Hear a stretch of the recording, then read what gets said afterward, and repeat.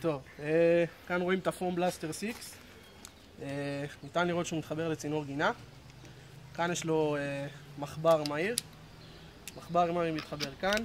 יש פה מפלס לסבון פלוס וסבון פלוס מים. כרגע כבר עשינו איתו עבודה מסוימת, אז יש פחות. כאן ניתן לראות שיש כאן בורר מצבי קצף, נקרא לזה ככה. מ-0 שהוא הכי סמיך ל-5 שהוא הכי דליל. אנחנו כרגע נעבוד עם 3 ותראו כמה קצף יוצא ב-3.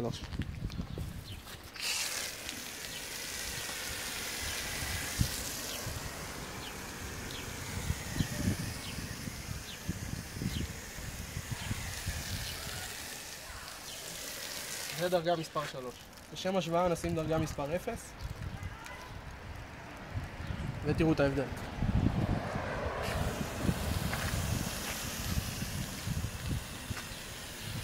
ממליץ בחום, אוטוסטור, חולון, תנו למשה, הוא יעזור לכם כבר.